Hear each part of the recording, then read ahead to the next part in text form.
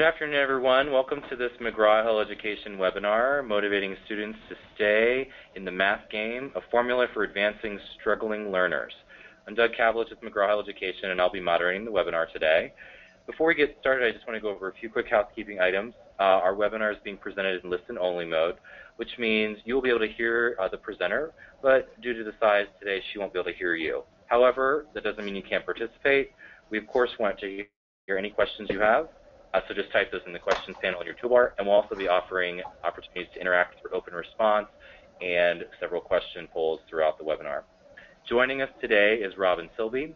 Uh, Robyn Silbey runs her own uh, business, Robyn Silbey Professional Development, where she motivates pre-K to 12 educators and students to value the power of mathematics.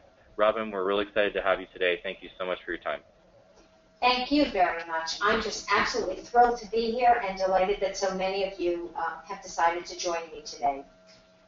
Um, my name is Robyn Silbey, and this is my 42nd year in the field of education, 11 years as a classroom teacher, and 31 and counting as a coach.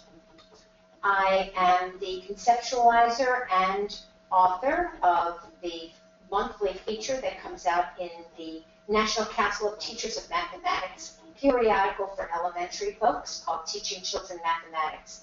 And that Coach's Corner is mine. Um, I, I hope you get a look at that feature the next time you see this journal. I'm also a co-author on McGraw-Hill MyMath, McGraw-Hill Glencoe Math, and I'm, a contributor with Number Worlds, the intervention program. So I'm going to ask you to help me out today and, and, interact with me, join me in the discussion about this. And the first thing I'd like you to do is to enter into the question box, please, I'm begging you, one word or phrase that describes intervention in your classroom, school, or district. Please go ahead and enter some ideas into that question box. Let's get this conversation going. Excellent, I'm already seeing. Multi-level, good. Small group, great. Um, frantic, I saw. Productive. Tier two, excellent. And breaking things down in differentiated instruction. Successful, fun. I am so delighted, rigorous I'm getting some absolutely wonderful responses here. I'm so thrilled with you guys. This is going to be a terrific session. Thank you so much. And differentiated instruction. I, and I see frustrated, so there's plenty of stuff. Let's go on. Beautiful. Today, our goals are to identify beliefs about learning, both negative and positive. Um, on the positive side, we're going to look at intrinsic motivation and growth mindset, things that I'm sure some of you, if not most of you, are familiar with. And then we're going to connect those positive feelings about learning with the Number Worlds intervention program. So let's swing into it. Here's your next opportunity. Uh, there's a poll there for you. And um, I'd like for you to um, select one of these three options about the negative beliefs about learning that we see around the country. So there are three here to choose from. One, students believe effort won't make any difference. Two, students have low frustration thresholds and fall behind. And three, they're just not feeling it when it comes to learning. So if you would be kind enough to go ahead and fill in that poll, that would be super. And I'd be happy to share the results. Right now, it looks like that the kids, uh, the, the popular one is that the kids have a low frustration threshold. But keep voting, I want to hear. I'll give it a moment. In the event that you can't see this, 55% of you are saying that students have a low frustration threshold. Um, actually, it's climbing even more. It's approaching 60% now. And I think that's true because they, um, kids that are struggling uh, feel like they just can't do it and they quit too soon and of course, that enters so much into the two topics that we're going to talk about today, which are intrinsic motivation and mindset. Beautiful. I'm so glad that uh, it turned out that that's the one, uh, because that speaks to what we're doing so clearly today. Our goal today is to develop those positive beliefs about learning and we're going to be using these two vehicles or two mechanisms, strategies, intrinsic motivation, and mindset. The first one we're going to talk about is intrinsic motivation. And uh, the big bestseller that uh, applies to intrinsic motivation is Drive by Daniel Pink, uh, the subtitle being The Surprising Truth About What Motivates Us. And Daniel Pink's book, if you haven't had an opportunity to read it, is a quick and easy and very stimulating read. He talks about extrinsic motivation and the, the carrot and stick principle, but then he gets into intrinsic motivation. And he says, you know, infants learn how to do all this wonderful stuff. By the time they come to school, they've learned how to crawl and walk and talk and feed themselves. So what happens? What happens to that excitement and motivation to learn? Well, the fact is, nothing happens. I, I would venture to say that if you give any teen or child or young adult or anybody for that matter a brand new phone and said to them, go ahead and take a you know, learn how to use this phone so that you can communicate with all your friends. What would happen? Well, they'd probably stay holed up in some room, um, learning it into the wee hours of the morning, like I did, until um, I was able to use the phone. So we have to harness some of that intrinsic motivation that is present in little kids learning how to, how to function in the world and the cell phone. Well, Daniel Pink finds that there are three elements of intrinsic motivation. The first one is autonomy, and we are looking at a bunch of different ways that kids eat, um, which reminds me of, of just a funny, quick story to tell you. My freshman year in college, all the girls on our floor in the dorm uh, decided to go out to dinner to one of the girls' favorite Chinese restaurants. And when the food came, she had all the utensils removed, and she asked um, to be replaced with chopsticks. And we said, Patty, that's impossible. None of us know how to use chopsticks. And she said, you know what? Any way you get it from the plate to your mouth is the right way. And when you think about it, that has a little bit to do with learning anything. So we want to give our kids some autonomy in the way they learn. Yes, we want to present them with um, effective and efficient algorithms and procedures and processes, but we want to leave the door open for invented algorithms and and wonderful things that kids think on their own. The second element of intrinsic motivation is mastery. And if you take a look, um, beginning at the top, how we start with those training wheels, kind of a guided practice when you think about it. And then down on the bottom right, you see that, that there's a lot of falling down, a lot of mistakes going on when we take those training wheels off. But eventually, we persist and we wind up being able to figure out the balance in riding a bike. And the same is true in school. We may have to spend a little bit of time learning those processes, understanding them, and practicing them. But deep in our hearts, we know that we're going to be good at it. And one really great strategy I have found is to keep the papers from the first week of school and then several weeks later show that to the kids, the parts that they struggled with and the things they now find so simple, and build that confidence that in fact, yes, they have mastered, they have, they have grown. They've gotten better and better every day and every week. The third element of intrinsic motivation is purpose. And that's where we work so hard to learn how to drive, to play a musical instrument, and of course to use a cell phone. Because we either need it for work, for play, or to get along and belong with other people. And in learning academics, it's no different. If you look at the, the, the person um, looking at his watch, yeah, we certainly do need to learn how to tell time, how to use money in the real world, how to use computers, and pretty much everything that we're teaching in mathematics is part of something that they need for functioning in the world around them. So we think about those three elements of intrinsic motivation, and Daniel Pink says, yeah, but you know, sometimes we do have to ask kids to do stuff that isn't so much fun, algorithmic, plain old algorithmic work.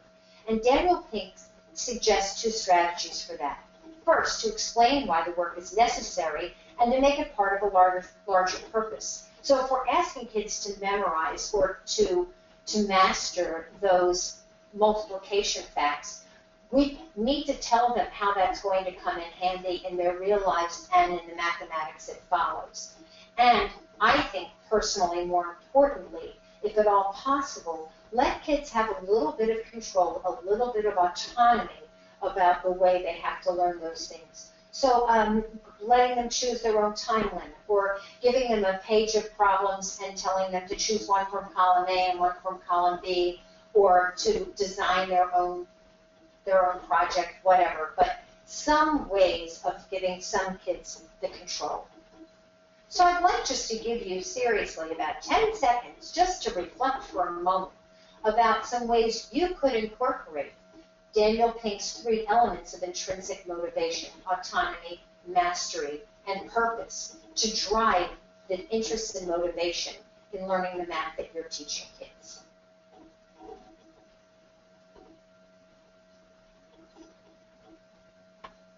We're going to move on now to mindset uh, which was um, which we associate Carol Dweck. She actually has a book out. It's still on the bestseller list, paperback. Um, Mindset: How We Can Learn to Fulfill Our Potential. Carol's work began in the 90s. She did six studies along with Mueller at Columbia University. She's currently at Stanford. Um, and I just want to tell you real quickly about uh, about the studies that, that were circulated in the late 90s. Mueller and Dweck asked 412 fifth graders to complete a task. And at the end of the test, they told half of the group, wow, you must be really smart. You did great. You must be really smart. And the other half, they said, you did great. You must have tried very hard. Well, this, they gave the kids, the same children, a second group of tasks to do. And when they finished, they told all of the kids, you didn't do as well this time. Well, the kids that were told they were smart initially thought, I guess I'm not that smart. And the kids that tried, that were told they tried hard, thought, I guess I didn't try hard enough.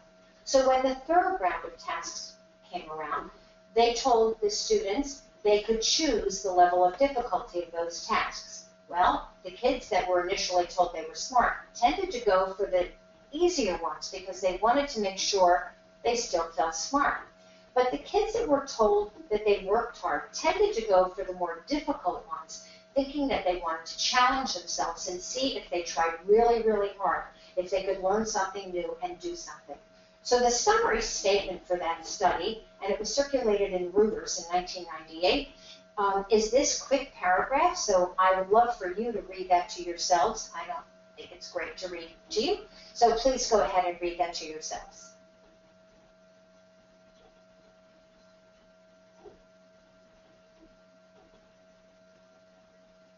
As you can see, the first part, praising children's intelligence, really aligns with a fixed mindset, which we'll look at in the next slide.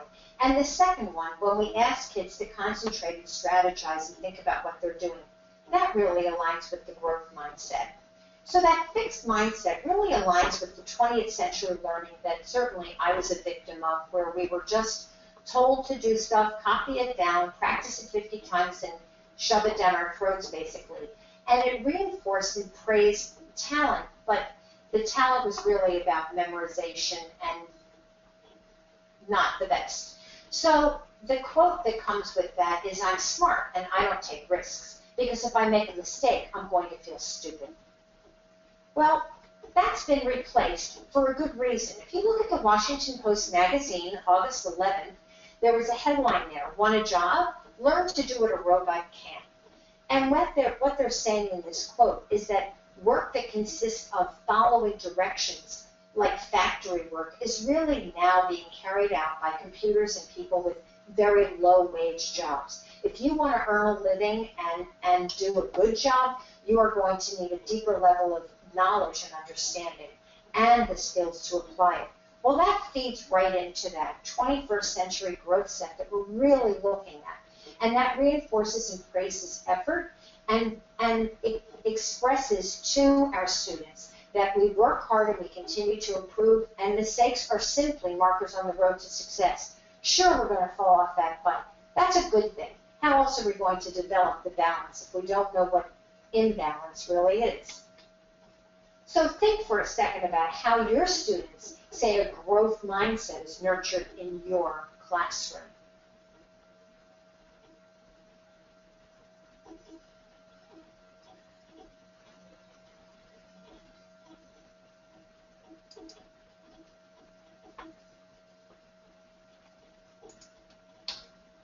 Our goal today is to engage, stimulate, motivate, and involve all of the students all of the time. It's a pretty lofty goal, actually, but we're going to use those two avenues of intrinsic motivation and mindset to think about how we could build those positive attitudes. And we're actually going to um, see how those ideas intrinsic motivation and mindset are embedded in number worlds. I took a look at just one single lesson, although it pictures, it illustrates all the lessons in the series. And that was level I in the middle school, solving two-step equations. So when we tell kids to find the math, and that's in every lesson, that really illustrates what Daniel Pink is calling the purpose. I really have to learn this. And when we think about solving two-step equations, we could ask kids what services or companies they can think of that charge a flat one-time fee and plus a, a per unit fee. So think about getting into a taxi cab, a flat fee for the first mile and then every sixth of a mile. Think about your cell phone plan. You've got a flat fee plus any minutes overage, God forbid. Um, bowling shoe rental plus the fee for fee per game. Lots of other ideas. And that's a great way to get kids to understand, yeah, I actually do use solving two-step equations in everyday life. When we get to be engaged in that lesson, that's really all about the mastery. In this particular case, we ask kids to use a balance scale so that they can see that an equation is solved if the two sides are balanced and equal. That little tactile, kinesthetic addition really helps kids get a firmer hold on the information.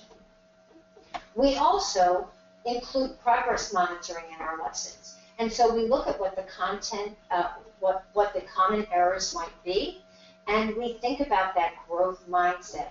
That if kids have difficulty understanding, then they can review the order of operations which they previously learned and point out that those multi-step equations work in the opposite order. So, you know how order of operations has multiplication and division and then addition and subtraction. It's exactly the opposite when you are solving two-step equations if we begin with the equation 2x plus 3 equals 11, the first thing we want to do is to subtract 3, exactly the opposite order of order of operations, and then the multiply and divide step. The reflect part of number worlds is all about autonomy and mastery, where you can assess your own understanding. So a critical thinking question targets conceptual understanding, and here's just one example. Could you multiply on by 2 on one side and divide by 2 on the other? Could you or not? Does that make sense? And we want kids, of course, to explain their reasoning. And then an informal assessment as well, which really targets that growth mindset. You can see what you can do and then figure out what you still need to learn.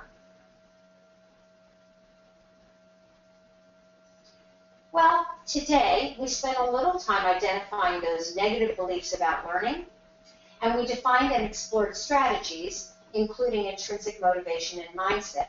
And then we connected that with number worlds so that we could see how those ideas are embedded and that number worlds is really all about that positive learning for kids.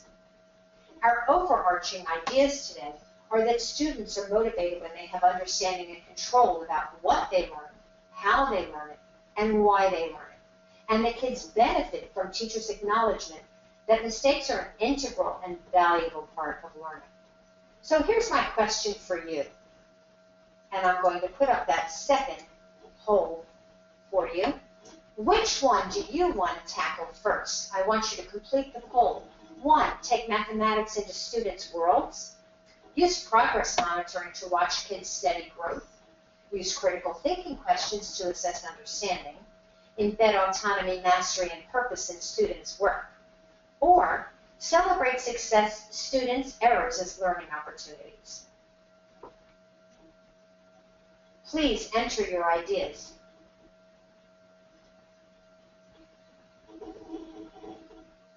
And the ones I see as the early leads in this horse race are it's a tie between four and five, embedding autonomy, mastery, and purpose, and celebrating students' errors as, as um, learning opportunities.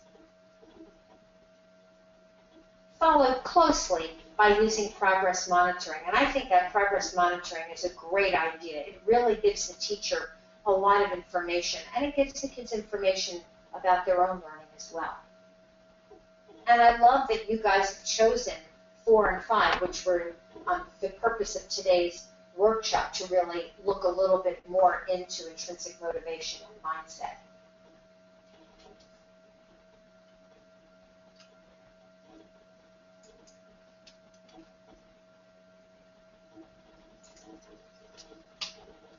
So now what I'd like to do is find out from you what questions you have, and I'm opening the questions there. If you would be kind enough just to type a question in, that would be just absolutely wonderful.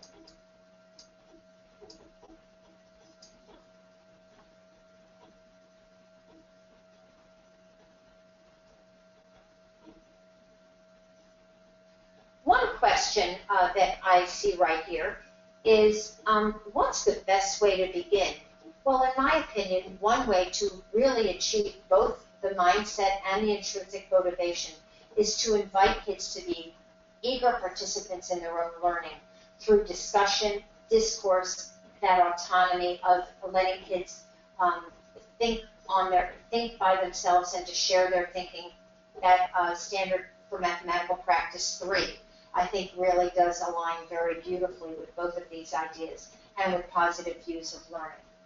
And I have another question right here. How do you deal with students who are missing basics in so many areas?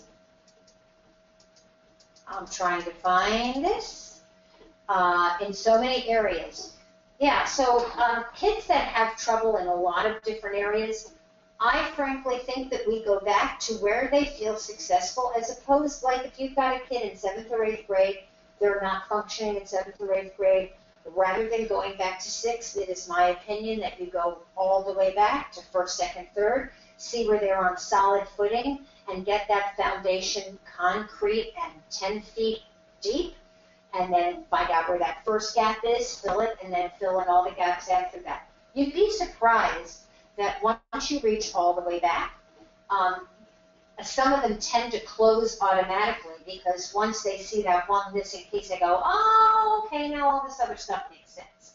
So that's what I would do. I would go back as far as you feel like you need to do, uh, as far as back as you need to go in order for the kid to feel successful, and then find out where that very first gap is. The next question, my students seem to work so slowly, I want to assess quickly. So I post progress monitor type tasks problems. Some are done, others aren't even started. How can we align? Oh, and others aren't even started. I think that is the end of that one. And um, so what you're saying is that kids have a completely different pace. That's important. The kids that finish and seem to be somewhat successful, we want to move them along, kind of graduate them to the next more difficult thing. And the kids that are that are needing more time to process, I, I think your best sense is the right thing, which is to slow down, maybe break it down into smaller pieces, find out where they are successful again, and then add the complexity as you go along. These are wonderful questions, and I can't thank you enough for sending them in. Here's the next question. How can we align with core curriculum standards and continue to make math a life skill? Well, I think that the core curriculum standards do talk about life. I think they are completely embedded in problem solving and real life situations. So I see that as a natural alignment. Um, performance-based tasks, having kids uh, simulating life and looking at um, what life looks like and the math that comes out of it and that's really what project-based assessment is all about. Um, presenting the kids with the project and finding out what math comes out of it and then finding that math to work. Any other questions? if I haven't answered your question and um, I've, atta- I've attempted to, please re-ask it so that I am sure that I'm, I'm doing the best I can for you. Any other questions? I have one.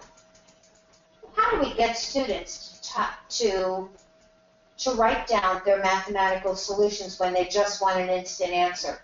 That is a great question and certainly worth waiting for. I just had this discussion with a mommy recently who really doesn't understand why we keep asking her her kids to justify their thinking. Here's the answer I gave her. If you're in calculus or algebra 2 and there are 10 or 15 steps and we need to go back and be able to examine where we began, it's very difficult to go back 10 or 12 steps and examine it from the very beginning.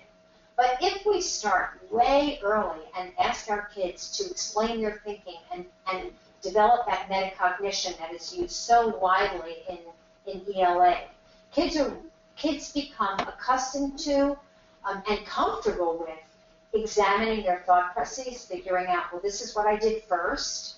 Does that make sense? Okay, then what was the next thing I did? Does that make sense? Does it align with the first thing?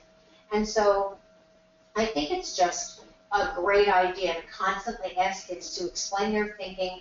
And I know that they just say, well, my brain told me, but they have to come up with some verbal explanation and then be able to develop that in writing. And that just brings me to one more thing. A lot of times kids have a very hard time um, um, communicating their ideas in writing. So my fix for that is to ask kids to discuss it with a partner or in small groups first, and then sometimes even to debrief as a class so that there's an opportunity to collect ideas, to solidify their thinking, and by practicing it through voice, through verbal articulation, they're really much more able to communicate in writing. The next question. What if our students, by the time we see them in middle school, without the process of justification being, being taught before? Absolutely.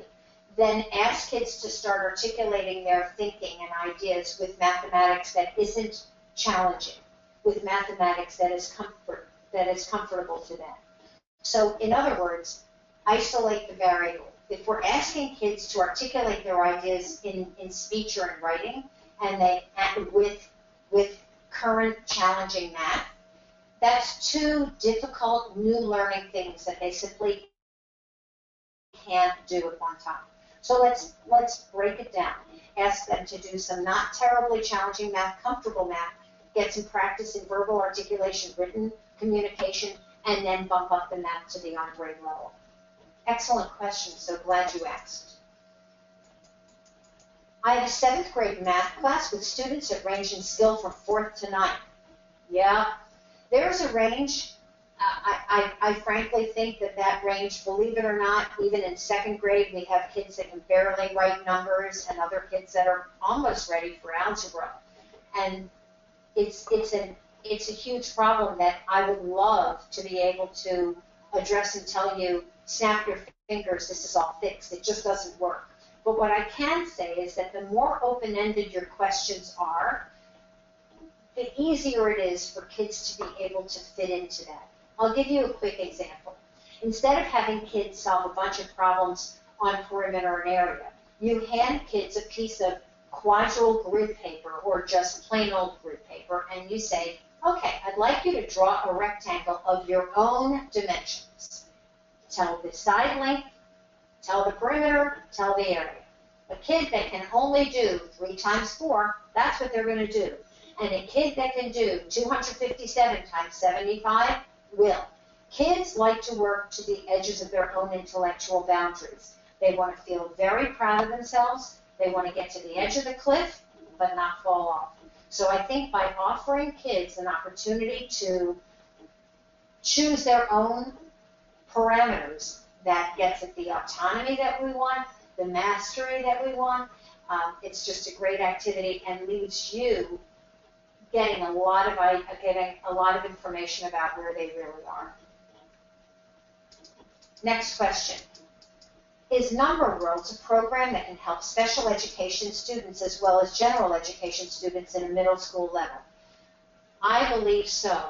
I believe that the strategies that are offered in Number Worlds are great prerequisite skill strategies, reinforcement strategies, and alternate instructional strategies that can be used in the classroom in a regular grade level class.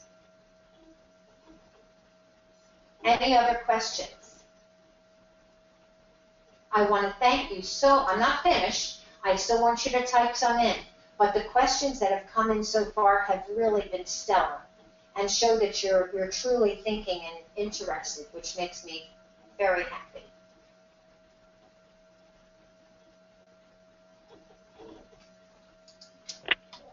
Robyn, thanks so much. Uh, as Robyn said, uh, if anybody has any more questions, feel free to type them in uh, as we go. But um, we're going to be uh, sending a follow-up email to everybody who attended today uh, a few days from now uh, with the recording link to the presentation. So uh, you'll have a chance to review that. And I, just, I have a couple more slides. Oh, okay, good, good. Yeah, please. Um, I wanted to close with this one. If you think you can catch the bus, you will run for it. If kids think that they're nowhere near that bus, they're just going to turn around and quit. But if they think they're just a few steps away and they can really catch that bus, they are going to sink their total effort into running at full speed and catching it. And our job as educators is to make those kids feel like each and every one of them can catch the bus. And the last thing I wanted to do was to give you my, my website, my email, and my cell phone number. And please feel free to follow up with me anytime with questions, comments, suggestions, concerns, anything at all. Thanks, Doug. Thank you. Absolutely. Yeah, feel free to follow up with Robyn, and you'll get a follow up from us with the recording and, and information there. Um, and if you guys have any other questions, feel free to enter them in. We're seeing a lot of thank you Robyns come in, which is great. Um, but uh, yeah, thanks, Robyn. We really appreciate your time today. Great presentation. Thank you so much.